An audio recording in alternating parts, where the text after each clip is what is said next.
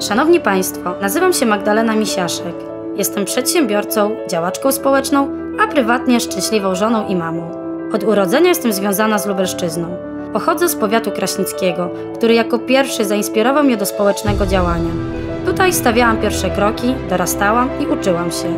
Jestem dumna z faktu, że mogłam założyć w swoich rodzinnych stronach własną działalność gospodarczą. We wszystkich zaplanowanych działaniach zawsze mogę liczyć na pomoc rodziny i przyjaciół. Niezależnie od codziennych obowiązków znajduję czas na działalność społeczną. Jako prezes Lubelskiego Związku Młodzieży Wiejskiej staram się ze wszystkich sił wspierać młodych ludzi. To właśnie od nich zależy przyszłość naszego kraju. W rodzinie, w gronie przyjaciół czy w pracy stawiam na bliski kontakt z drugim człowiekiem. Dlatego chcę reprezentować społeczeństwo jako radna Sejmiku Województwa Lubelskiego.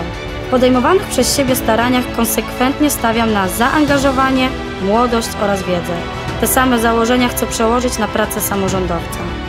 Bardzo proszę o Państwa głosy 21 października. Magdalena Misiaszek, kandydatka do Sejmiku Województwa Lubelskiego. Ostatnia pozycja na liście PSL w okręgu numer 2.